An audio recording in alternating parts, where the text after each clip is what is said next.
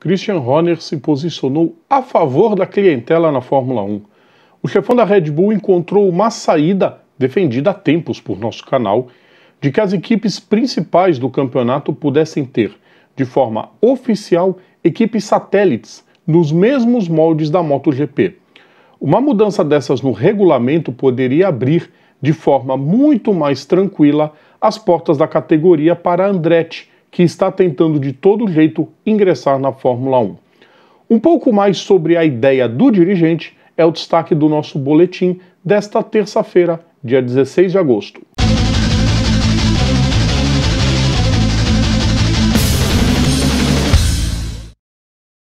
Salve a todos os nossos ouvintes e seguidores, serão todos bem-vindos. Eu sou Rodrigo Vilela e está começando mais um Boletim Papo Veloz com as notícias mais importantes do dia. Antes da gente começar, peço sempre para vocês deixem o like nos nossos vídeos, compartilhem nosso conteúdo, inscrevam-se no nosso canal e ativem as notificações. Vamos aos destaques de hoje. O chefe da Red Bull, Christian Horner, relatou em entrevista à Sky Sports uma maneira de facilitar a entrada de equipes independentes no grid.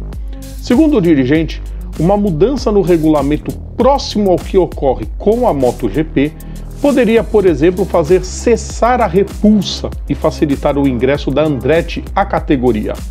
Horner se posicionou a favor da criação do campeonato de equipes, junto ao de pilotos e de construtores, e que a premiação poderia vir da pontuação e da posição no campeonato ao passo que essas equipes poderiam economizar comprando os carros de suas matrizes.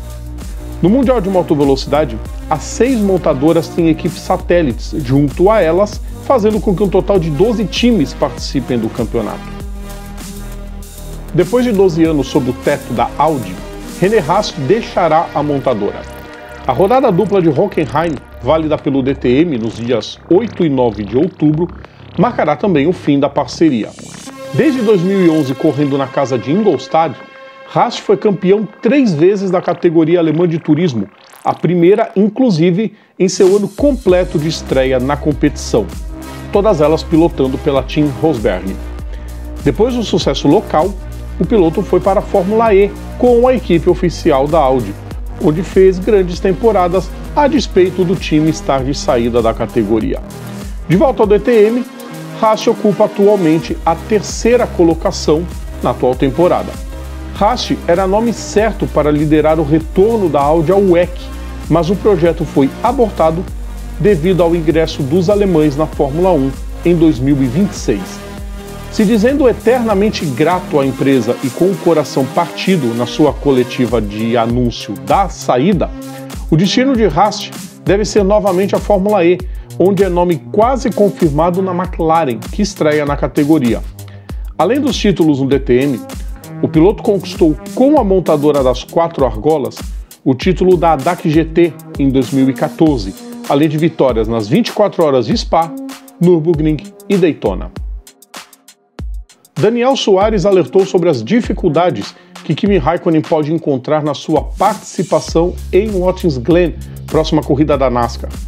O finlandês, campeão da Fórmula 1 em 2007, correrá a prova pela Trackhouse, dentro do Projeto 91, implantado pela equipe de Justin Marks para alavancar o nome da categoria com a participação de pilotos conhecidos no cenário mundial do esporte a motor. Em entrevista ao motorsport.com, Soares, que é titular da equipe e já está garantido nos playoffs graças à vitória em Sonoma, exaltou o quão rápido Raikkonen foi no teste de familiarização que aconteceu em Virgínia, mas ressaltou que o Homem de Gelo deverá fazer jus ao apelido e manter a frieza contra o estilo agressivo de muitos pilotos da categoria, além do jogo de estratégias que pode embaralhar a corrida, além de bandeiras amarelas, algo que Raikkonen raramente experimentou na maior categoria dos monopostos. Segundo Soares, o alerta é válido devido à dinâmica da categoria, mas exaltou o piloto dizendo que se sente muito ansioso por poder dividir a pista com ele e que vai ensinar tudo o que ele precisa. O Boletim Papo Veloz está de volta amanhã. Além do nosso canal no YouTube, todo o nosso conteúdo também pode ser ouvido nas principais plataformas digitais ou assinando o nosso feed is.gd barra programa Papo Veloz. Sigam também a gente nas redes sociais. Nós estamos no Facebook, no Twitter, no Instagram e no TikTok. E é só procurar por PGM Papo Veloz. Um grande abraço a todos e até amanhã. Tchau!